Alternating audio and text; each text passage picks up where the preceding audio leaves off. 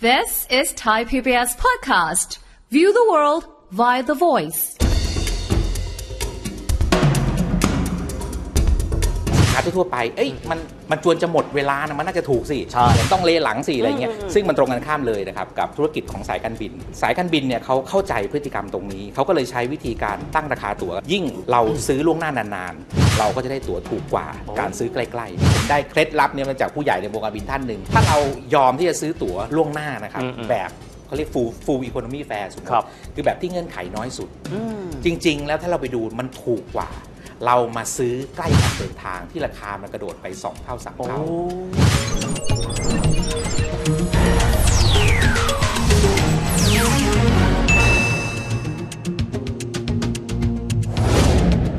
สวัสดีครับท่านผู้ชมครับ ยินดีต้อนรับเข้าสู่รายการเศรษฐกิจติดบ้านนะครับ ผมเชื่อว่าในยุคนี้นะครับ เรื่องการเดินทางด้วยเครื่องบิน เป็นเรื่องค่อนข้างปกติไปแล้วสำหรับสังคมสมัยนี้ แต่บางทีเราอาจจะไม่เข้าใจนะครับว่าโครงสร้างราคาตั๋ว บางทีราคาก็อาจจะค่อนข้างแพง บางทีเดี๋ยวก็มีโปรโมชั่น 0%บางทีสายการบินบอกว่าราคาเนี่ยสูงสูงแต่ว่าตัวเองขาดทุน น่าสนใจมากครับว่าโครงสร้างของค่าโดยสารหรือว่าตั๋วเครื่องบินนี้เนี่ย ตกลงแล้วมันประกอบไปด้วยอะไรกันบ้าง ยิ่งท่ามกลางบรรยากาศนะครับเรื่องของราคาพลังงานผันผวนในโลกช่วง 2 ปีนี้ หลายคนยิ่งมีคำถามเยอะแยะเข้าไปใหญ่เลย วันนี้มาไขข้อข้องใจประเด็นเหล่านี้นะครับกับแขกรับเชิญของเราท่านเป็นหัวหน้าศูนย์วิจัย และการบริการนะครับวิชาการด้านการขนส่งทางอากาศนะครับภาควิชาวิศวกรรมการบินและอวกาศ คณะวิศวกรรมศาสตร์ มหาวิทยาลัยเกษตรศาสตร์ ดร นวทัศน์ก้องสมุทรอาจารย์สวัสดีครับสวัสดีครับคุณวิทย์ครับอาจารย์ครับผมว่าทุกคนเนี่ยเห็นตั๋วแล้วก็จะงงนะครับบางทีตั๋วแพงแพงๆนะ บริษัทขาดทุนอืมบางทีมี0% ก็มีโปรโมชั่นกันอยู่ ปกติแล้วโครงสร้างของราคาตั๋วเครื่องบินหนึ่งใบมันประกอบด้วยอะไรบ้างครับอาจารย์ ครับ คือถ้าหลักๆเลยนะครับสามตัวแรกที่ถือว่าเป็นก้อนใหญ่ที่สุดเนี่ยตัวแรกก็คือค่าน้ำมัน อืมทีนี้ค่าน้ำมันก็ขึ้นกับว่าเขาบินไกลบินใกล้ อืมยิ่งบินไกลมากเท่าไหร่ ค่าน้ำมันก็จะมีสัดส่วนมากขึ้นนะครับตัวที่2เขาเรียก ownership cost ก็คือต้นทุนความเป็นเจ้าของเครื่องบินไม่ว่าเขาจะซื้อเครื่องหรือเช่าเครื่องก็แล้วแต่นะครับเป็นก้อนที่2ที่ใหญ่มาก ก้อนที่3ก็คือเรื่องของการ maintenance โอ้นะครับเครื่องบิน และสุดท้ายอ่าจริงๆก็ยังมีอีกหลายตัวนะครับแต่ว่าตัวที่ใหญ่เป็นอันดับ 4 ก็คือเรื่องของต้นทุนพนักงานเนี่ยครับสี่ตัวเนี้ยหลักๆที่ที่ทำให้ราคาตั๋วมันอาจจะเปลี่ยนแปลง แล้วก็ความสามารถในการบริหารงานต้นทุนของแต่ละสายการบินก็ไม่เท่ากัน ถ้าสายการบิน low cost เขาก็มีความสามารถที่เขาซื้อเขาซื้อเครื่องบินผมเรียกซื้อเป็นเข่งอ่าซื้อครับที 200 ลำอ่า เพราะฉะนั้นแน่นอนซื้อ 200 ลำเนี่ยได้ถูกกว่าต้นทุนต่อลำเขาเชื่อว่าใช่เชื่อว่าถูกกว่าซื้อปลีกเนี่ยครับอย่างน้อย 40-50%เป็นต้นอย่างเงี้ยเขาก็จะมีวิธีในการบริหารที่จะทำให้ราคามันต่างกัน ด้วยความสามารถในการบริหารต้นทุน 4 ตัวเนี้ยโอ้อาจารย์ทีนี้เนี่ยสมมุติว่าเราเลือกสายการบินเนาะครับสมมุติว่าจะไปต่างประเทศแล้วก็ครับที่บอกว่าจะมีก็จะมีสายการบินแห่งชาติเราอืมสายการบินอื่นครับๆจริง ๆ แล้วก็เส้นทางเหมือนกันเนาะครับแต่ทำไมราคามันถึงไม่เท่ากันครับอาจารย์ถ้างั้นผมต้องขออนุญาต เปรียบเทียบเป็น 2 ลักษณะก่อนนะครับคุณวิทย์แบบแรกคือแข่งกันแบบหมัดต่อหมัด คือบินตรงเหมือนกันอ่าเช่นถ้าเป็นกรณีการบินไทยอะสมมตินะครับบินไปลอนดอนเนี่ยก็อาจจะต้องเทียบกับ British Airways อ่าแต่โอเค พอเราไปเทียบกับ British Airways กับบินไทยถูกกว่าถ้าเราอ๋อถ้าเราไปดู British Airways นะครับอ๋อครับแต่กรณีหมัดห มัดคล้ายๆหมัดต่อหมัดเหมือนกัน แต่เขาได้เปรียบขาแรกก็คืออย่าง EVA Air EVA อืมเพราะจริงๆ ถ้าเราไปดู flight route Bangkok London เนี่ยเขาบินมาจากไทเปโอ้เขาเก็บผู้โดยสารมาต้นทางก่อน ใช่ใช่เหมือนรถสองแถวสมมติมองง่ายๆนะอ่าก็บินแล้วอ่าแต่ว่าเขาเขารับผู้โดยสารเขาสองมีจุดแวะหนึ่งจุดอ่าหมัดที่ 3 คือขา ขากรุงเทพกับลอนดอนเนี่ยครับอเราแข่งกับสายการบินที่บินแวะที่จุดศูนย์กลางของเขา ครับ ก็คือพวก Middle East Cali- พวกสายการบินตะวันออกกลางทั้งหมด อืมอืม เพราะฉะนั้นการที่เขาบินไปแวะที่เขาเนี่ยไม่ว่าจะเป็นอาบูดาบี ไม่ว่าจะเป็นโดฮาเนี่ยนะครับมันทำให้เขาสามารถรวมผู้โดยสารเรานึกถึงคนไปลอนดอนเนี่ยไม่ได้มีจากกรุงเทพอาจคจะรับมีจากจาการ์ตาจากสิงคโปร์จากทุกที่ในแถบนี้อ๋อเขาก็บินมาจากทุกประเทศไปที่โดฮา อ่า แล้วเขาก็เอาไปรวมกันใส่สมมครัติบเครื่องลำใหญ่ ๆ ใส่ 380 บินโดฮาลอนดอน ต้นทุนต่อที่นั่งเนี่ยยิ่งเครื่องยิ่งใหญ่เท่าไหร่นะครับครับ ต้นทุนต่อที่หน่วยเนี่ยมันจะถูกลงไปอีก เพราะฉะนั้นเขาก็สามารถจะทำให้ให้ให้ขายราคาถูกกับเราได้ครับครับครับ อาจารย์ผมมาอีกส่วนกันบ้าง เวลาที่คนซื้อตั๋วจะบอกว่า ซื้อก่อนแล้วถูก หรือซื้อใกล้แล้วถูก เราจะงงนะเอ๊ะเราควรครับจะบริหารจัดการยังไงครับแล้วก็จองทีไร เต็มทั้งปีทั้งชาติเลยอืมมันเกิดอะไรขึ้นครับอาจารย์ครับ อันเนี้ยเป็นเป็นประเด็นที่ที่ต้องบอกว่าความเข้าใจของคนเราอาจจะมองว่าสินค้าทั่วๆไป เอ้ยมันมันจวนจะหมดเวลานะมันน่าจะถูกสิใช่เหมือนต้องเลหลังสิอะไรเงี้ยอืมอืมซึ่งมันตรงกันข้ามเลยนะครับกับกับกับธุรกิจของสายการบิน เพราะอะไร เพราะว่าเราต้องนึกถึงสภาพความเป็นจริงก่อน คนที่ซื้อตั๋วใกล้เดินทาง แปลว่าเขามีความจำเป็นต้องเดินทาง หรือบางทีเขาทราบเร่งด่วนเขาต้องเดินทาง เพราะฉะนั้นโดยธรรมชาติของคนกลุ่มเนี้ย ทางการบินเรามองว่าเป็นกลุ่มที่เขาเรียกภาษาอังกฤษคือ willingness to pay คือความเต็มใจจ่ายสูง โอ้ ในขณะเดียวกันคนอื่นๆ สมมติคนเดินทางท่องเที่ยวเนี่ยที่ไม่ได้เดินทางธุระเนี่ยเราแพลนล่วงหน้าหรือบางทีเราไปไปกับเพื่อน 10 คนอย่างเงี้ยตั๋วถูกลงมาแค่ใบละ 300เนี่ยแต่ 10 คนก็คือกลายเป็น 3,000แล้ว3,000บาทเพราะฉะนั้นเขาก็ก็จะมีพฤติกรรมเขาก็จองล่วงหน้า เพราะฉะนั้นอืมอืมสายการบินเนี่ยเขาเข้าใจพฤติกรรมตรงนี้ เขาก็เลยใช้วิธีการตั้งราคาตั๋วเรียก dynamic pricing นะครับก็คือยิ่งเราซื้อล่วงหน้านานๆ เราก็จะได้ตั๋วถูกกว่าการซื้อใกล้ครับๆพอซื้อใกล้ๆเนี่ยแปลว่าคุณคุณจำเป็นต้องซื้อ คุณจำเป็นต้องเดินทาง เพราะฉะนั้นคุณก็แต่ก็เข้าใจว่าคนจำเป็นต้องเดินทางบางครั้งก็ไม่ได้มีกำลังซื้อนะครับนั่นก็เป็นเหตุให้ช่วงนี้เราจะได้ยินเหตุการณ์อย่างนี้บ่อยเพราะว่าโดยพฤติกรรมแล้วสายการบินเขาบอกเลยตั้งแต่หลังโควิดมาเนี่ยเขาพบพฤติกรรมที่คนเปอร์เซ็นต์ของคนที่ซื้อใกล้วันเดินทางเยอะขึ้นอย่างมีนัยสำคัญ แตกต่างจากช่วงก่อนโควิด เพราะฉะนั้นเปอร์เซ็นต์คนที่คนที่ที่ที่ที่รู้สึกว่าโอ้ยมันแพงก็เลยเยอะขึ้น เพราะว่าเขาอาจจะไม่ได้รู้ข้อเท็จจริงเนี้ยว่ายิ่งซื้อใกล้วันเดินทางนะตั๋วมันจะแพงขึ้นครับครับ อาจารย์ในช่วงโควิดที่ผ่านมาต้องบอกว่าคนไม่ได้บินเนาะครับเพราะเปิดการบินขึ้นมาปั๊บเนี่ยที่เขาเรียกว่า pent-up demand คือไม่ได้บินมานานอัดอั้นครับแล้วครัก็บตูมเดียวราคาก็แพงมาก ๆ เลยอาจารย์ครับมอง dynamic ของเรื่องราคาตั๋วบินในช่วงเวลาแบบนี้ครับกับอนาคตอันใกล้ยังไงบ้างครับ ถ้าถ้าถ้าดูให้ดีหลังโควิดมาอย่างที่คุณวิทย์พูดเลยนะครับ มันมันเป็นดีมานที่มันอั้นอยู่อืมอืมเพราะฉะนั้นกลับไปที่คำเดิมคือ willingness to pay อืมความเต็มใจที่จะจ่ายมันสูง เพราะฉันอยากเที่ยวอืมนะครับเอ่อเที่ยวใกล้เที่ยวไกลก็แล้วแต่ ซึ่งถ้าเราไปมองอีกในฝั่งแอร์ไลน์เราก็เราก็ต้องเห็นใจเขาเหมือนกันนะ ช่วง 3 ปีอย่างของกรณีของประเทศไทยเนี่ยครับไม่ได้รับการช่วยเหลืออะไรเลยอ๋อ ในยุโรปรัฐบาลอุดหนุนนะครับอ๋อมีเหรออาช่วยเรื่องเงินเดือนพนักงานเพราะเขารู้ว่าอุตสาหกรรมการขนส่งทางอากาศน่ะมันมีความสำคัญกับประเทศมากอืมเพราะฉะนั้นเขาไม่ไม่ต้องการให้มันขาดช่วงครับแต่ของเราก็ต้องแบกภาระทุกอย่างไว้เอง แล้วจริงหลายประเทศทั่วโลกก็แบกภาระไว้เอง เพราะฉะนั้นช่วงนี้มันเป็นโอกาสทองก็ต้องก็ต้องพูดกันตามตรงว่าครับครับเขาเข้าเขาเข้าเนื้อไปมหาศาลในช่วง 2 ปี 3 ปีที่ผ่านมา เพราะฉะนั้นจังหวะนี้คนก็พร้อมจ่าย และเขาเองเขาก็ต้องการกำไรมาจุนเจือไอ้สส่วนสที่ภาพขาดคล่องไปที่เขาหายไปเยอะครับเพราะฉะนั้น ในช่วงช่วงที่ผ่านมาก็เป็นปกตินะครับที่มันจะสูงทั่วโลกเฉลี่ยประมาณ 30%นะครับที่ไม่ใช่ไม่ใช่สูงขึ้นเฉพาะประเทศไทย แต่หลังจากนี้จริง ๆ ทุกคนลองเข้าไปเล่นกันเลยนะครับ หรือถ้าเราตามโดย Facebook ใน Twitter เราจะเริ่มเห็นละ เริ่มมีสายการบินระหว่างประเทศรายใหญ่ ๆ เริ่มปล่อยโปรมาละของปี ปลายปีนี้กับถึงต้นปีหน้า โอ้ครับ แล้วโดยธรรมชาติเขาเขาไม่เขาไม่ดื้อหรอกครับคือคือถ้าเขาเห็นแล้วว่าถ้าเขาตั้งราคาแพงต่อไป ปกติดีมานกับกับไพรซ์เนาะยิ่งราคาแพงความต้องการมันก็ลดลงครับแต่ถ้าความต้องการรู้สึกว่าชั้นอัดอั้นมันเริ่มลดลงอืมอืมอืม airline เขาก็รู้ว่ายิ่งถ้าถ้าฝืนตั้งแพงต่อไป คนก็จะซื้อน้อยลง โอ้ เขาก็จะต้องกลไกตลาดก็จะเริ่มเขาก็จะเริ่มปรับราคามาลงเพราะฉะนั้นตอนนี้ถ้าเราเข้าไป booking นะครับตั๋วล่วงหน้า 2 เดือน เดินทางในประเทศเราก็จะเห็นหลักพันกว่าบาทกลับครับมาละอืม คิดผมในมุมผมผมเชื่อว่าก็กำลังจะกลับเข้าไปในภาวะปกติ อืมอืม สำหรับเส้นทางต่างประเทศครับส่วนเส้นทางในประเทศต้องเรียนคุณวิทย์ว่าก่อนโควิดเนี่ยประเทศไทยไม่ปกตินะครับ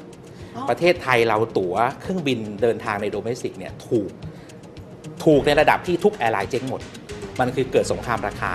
ถ้าเราพอจำได้เราลองไป search ข่าวก่อนหน้าโควิดนะครับ airline เจ็บเจ็บมากในเส้นทางภายในประเทศ เพราะฉะนั้นคือผมเชื่อผมเชื่อว่าการปรับตัวครั้งนี้ก็ต้องดูต่อไปอะครับว่าสงครามราคาจะกลับมาอีกไหมครับถ้ากลับมาอีกเราก็อาจจะได้เจอราคาตั๋วถูกๆ มากๆเหมือนก่อนโควิดโอ้แต่ผมก็คิดว่ามันมันไม่ดีกับตลาดในในมุมครับนั้นนะนะครับ แต่ว่าอืมผมก็คิดว่าโดยรวมโดยรวมก็คิดว่าจะถูกลงกลับสู่ภาวะปกติใน ผมเชื่อว่า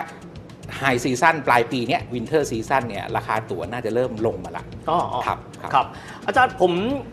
มีข้อสงสัยแบบนี้ครับหลายหลายคนจะพูดว่า โอ้โห สายการบินบางประเทศ เช่นสิงคโปครับ Airlines Lufthansa เนี่ย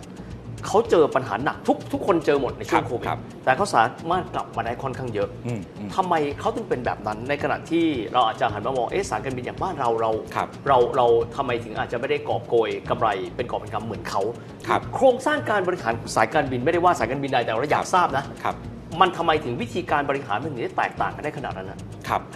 อ่าก็ต้องสมมติผมขออนุญาตแยกเป็นเป็นสองคือบ้านเราเนี่ยสายการบินจริงๆมีอยู่ 2 ประเภทใหญ่เนาะอืมอืมก็คือ full service แล้วก็ low cost low cost ถ้าเราดูให้ลึกอีกก็มี 2 ประเภท คือ low cost ที่เป็นทุนไทยแท้ๆต้องเรียนแบบเนี้ยนะครับอืมอืมกับ low cost ที่เป็นลักษณะของการ joint ร่วมทุน venture ต่างประเทศร่วมทุนกับต่างประเทศ เพราะฉะนั้นถ้าเราดูให้ดีเนี่ยในสายการบินกลุ่ม คือคือถ้าเราดูงบการเงินไตรมาสที่ผ่านมาเนาะนะครับเราก็จะเห็นว่าเกือบทุกแอร์ไลน์เริ่มมีกำไรแล้วที่เป็นบริษัทจดทะเบียนนะครับแม้แต่การบินไทยเองก็กำไรเยอะมากอืมนะครับจริงๆ ถ้ามองภาพเนี้ยมันก็เป็นภาพเดียวกับกับกับทั่วโลกอืมอืมเพราะว่าอย่างที่เราคุยกันเมื่อสักครู่ว่าราคาตั๋วมันแพงกว่าอืมยุคปกติมากครับ ในขณะที่ต้นทุนเองถึงแม้ว่าบางตัวเช่นเรื่องของน้ำมันก็แพงกว่า แต่ถ้าเราไปไปเจาะลึกๆเนี่ยผมเชื่อว่าเงื่อนไขการจ้างของหลายสายการบินตอนเนี้ยครับเปลี่ยนไปอ๋อเพราะสามารถจะมีต้นทุนเรื่องบุคลากรถูกกว่าเดิมอ๋อนึกออกอืมซึ่งซึ่งถามว่าดีกับ ลูกจ้างไหมมุมลูกจ้างอาจจะบอกว่าโอ้ไม่ดีเลยอืมอืมอืมแต่ถ้าในมุมธุรกิจมันก็คือมันก็คือวิธีการบริหารเพื่อให้เขามีความสามารถในทางกำไรมากขึ้น เพราะฉะนั้นผมผมมองว่าคือคือเราเองก็กำลังน่าจะไปในทิศทางนั้นนะครับว่าว่ากำลังจะมีความสามารถในการทางกำไรมากขึ้น ถ้าสายการบินเดิมทำกำไรได้อยู่แล้วอืมแต่ว่าถ้าในกลุ่ม low cost ถ้าคุณวิทย์ซูมเข้าไปดูครับก็จะมีบางกลุ่มของสายการบินโดยเฉพาะสายการบินที่เป็นจอยเวอร์เจอร์เนี่ยตั้งแต่ตั้งมาไม่เคยทำกำไร เอาเหรอฮะ ซึ่งเรื่องนี้ก็น่าสนใจว่า เอ๊ะ แล้วก็เขาก็เติบโตเขาก็ขยายฝูงบินเนาะ ลักษณะอาจจะคล้ายๆกันถ้าเปรียบเทียบนะครับ คล้ายๆกับไทยสมายล์ก็ตั้งแต่ตั้งมาก็ไม่เคยกำไรเหมือนกันครับนะครับ ซึ่งซึ่งประประเด็นเนี้ย ถ้าถามว่าพอทุกอย่างมันกลับมาแล้วก็จะมีการทำกำไรได้ไหมก็ครับก็คงเป็น question mark ตัวโตๆอยู่ว่าเอ๊ะมันมันจะทำได้ไหมเพราะก่อนหน้านี้ความสามารถในการทำกำไรเขาก็ทำไม่ได้แต่เขาขยายได้มันมันมันก็มีมันก็มีข้อที่ต้องค้นหาครับว่าเพราะอะไรทำไมเขาถึงขยายธุรกิจต่อไม่ได้โดยที่ครับยังไม่มีกำไรเลยตั้งแต่ตั้งมาอาจารย์คผบมย้อนกลับไปบ้างว่า ในฐานะที่พวกเราก็จะต้องเดินทาง เราครับเป็นผู้บริโภคนะผู้รับครับบริการแบบเนี้ยสมมุติบอกว่าเราต้องการที่จะซื้อตั๋ว นะครับในราคาที่เหมาะสมที่สุดออครับติมอลสมมติการเดินทางต่างประเทศเราต้องคำนึงถึงปัจจัยใดเป็นพิเศษครับ จริงๆผมแนะนำว่าอันดับแรกนะครับคือคือถ้าเราพอมีเวลาเนาะคือถ้าเราวางแผนการเดินทางได้ล่วงหน้าอ๋อออยากให้เราคือถึงแม้ว่าเราเดินทางทำธุระนะครับ หลายคนมักจะบอกว่าโอ้โหซื้อตัว๋ว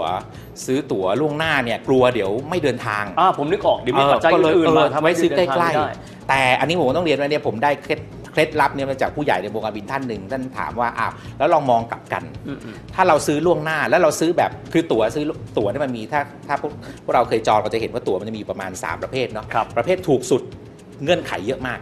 เปลี่ยนตั๋วไม่ได้อ๋อคืนเงินไม่ได้ครับหรือถ้าจะเปลี่ยนอะไรต้องเสียเงินเพิ่มอืมอันที่ 2 ก็เหมือนอยู่ตรงกลางครับอันที่ 3 คือแพงสุดเงื่อนไขแทบจะไม่มีโอเลยเพนเลยอ่าซึ่งตัวเนี้ยคือไม่ว่าซื้อตอนไหน ตั๋วมันก็จะมี 3 ประเภทเนี้ยถ้ามันยังเหลือนะครับครับถ้าเรายอมที่จะซื้อตั๋วล่วงหน้านะครับอืมอืมแบบ เขาเรียก full full economy fare สมมติครับ คือแบบที่เงื่อนไขน้อยสุด อืม จริง ๆ แล้วถ้าเราไปดูมันถูกกว่า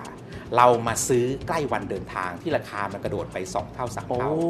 เพราะฉะนั้นสำหรับสำหรับกลุ่มคนที่เดินทางบ่อยๆนะครับผมก็จริงๆ ผมก็อยากแนะนำว่า เราซื้อล่วงหน้า ถ้ากลัวเราเปลี่ยนก็เลือกตั๋วที่มันมันมันไม่มีเงื่อนไขหรือเงื่อนไขมันน้อย คุณก็เปลี่ยนได้ คุณก็ไม่ต้องเสี่ยง เข้าใจดีกว่าคุณละ ไปยอมจ่ายเยอะๆ ก็ต้อง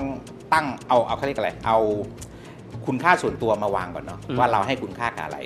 เราให้คุณค่ากับราคามากที่สุด เราให้คุณค่ากับกับระยะเวลาในการเดินทางอ๋อหรือตอนนี้ต้องพูดว่ายังยุโรปเริ่มมีแล้วนะครับ เราให้คุณค่ากับเรื่องสิ่งแวดล้อมโอ้มากโหน้อยแค่ไหนโอเคโอเคคือถ้าเราเอามาวัดอย่างที่กลุ่มที่บอกที่แรกนะครับ ระหว่างบินตรงอืมอืมกับบินแบบแวะพักเนี่ยครับก็ต้องบอกเลย ถ้าให้คุณค่ากับเรื่องราคาคือพูดง่าย ขอถูกอืมก็คงต้องบินแบบแวะพักครับแต่ถ้าให้คุณค่ากับเรื่องเวลาเนี่ยบินแวะพักเสียเวลาแน่นอนอืมอืมแล้วก็แล้วก็เหนื่อยในการต่อเครื่องโอ้นะไปลุ้นอีกด้วยนะครับเพราะฉะนั้นบินตรงดีที่สุด ต่อมาถ้าให้คุณค่ากับเรื่องสิ่งแวดล้อมเขามีงานวิจัยออกมาชัดเจนครับ การบินตรงเนี่ยดีกับสิ่งแวดล้อมมากกว่าโอ้ครับเพราะฉะนั้นอันเนี้ยก็อยู่ที่เข่งละเพราะฉะนั้นจริงๆสายการบินสัญชาติไทยเนี่ยเป็นเป็นจุดแข็งอันหนึ่งนะครับ ถ้าเราทางยุโรปเนี่ยเริ่มมีกระแสเขาเรียกรู้สึก guilty ที่จะบิน ครับเพราะว่าเขาปล่อยคาร์บอนก็ครับทำให้โลกร้อเรือนกระจกเยอะตอนนี้กำลังกำลังเป็นกระแสมากตั้งแต่ก่อนโควิด เพราะฉะนั้นจริงๆสายการบินของไทยเองก็อาจจะเอามาเป็นจุดแข่งได้นะแข่งกับพวก Middle East ว่าเฮ้ยครับคุณเราโชว์ให้เห็นเลยว่าเฮ้ยครับการปล่อยคาร์บอนต่อกิโลเราเนี่ยถูกกว่าพวกครันี้บนะอะไรเงี้ยตอนนี้ก็ต้องก็ต้องคงต้องมองตามตามเขาเรียกอะไรก็คุณค่าของกลุ่มที่ที่ให้ความสำคัญว่าแต่ละคนก็ให้เลืความสำคัญไม่ตรงกัใ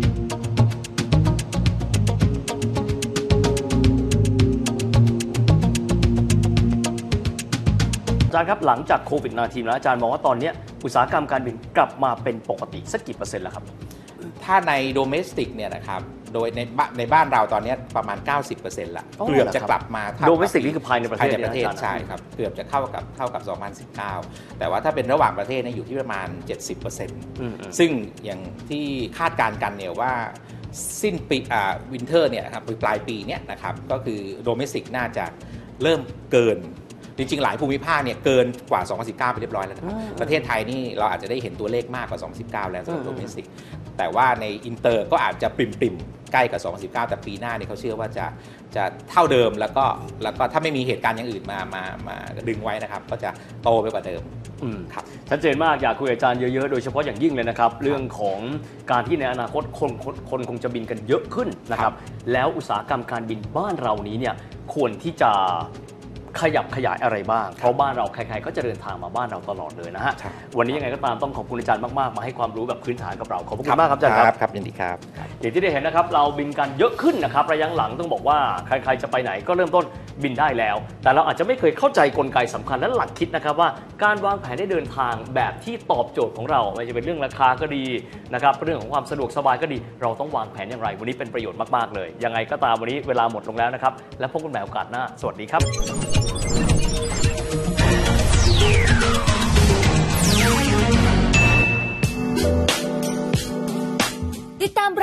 ทางเว็บไซต์และแอปพลิเคชันของไทย PBS Podcast Spotify SoundCloud Google Podcast Apple Podcast และ YouTube Channel Thai PBS Podcast Thai PBS podcast. View the world via the voice.